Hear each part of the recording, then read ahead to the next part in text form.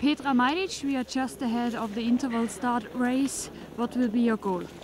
I try to go for full. Uh, I don't know. Now I was out from competitions uh, for almost one month, so I don't know. I was training really hard.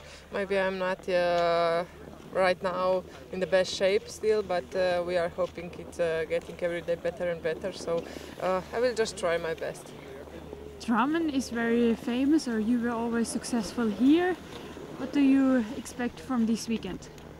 Yeah, Drammen was always yeah a very good place for me. It was uh, first victory I achieved here, so yeah, nice memories. but uh, this season is totally different because it's uh, distance it's in classic and sprint is in skating on totally different course. So I will try, as I said, uh, my best performance on uh, every of these two races. But you know you have to have a little luck also, so I'm counting on luck also.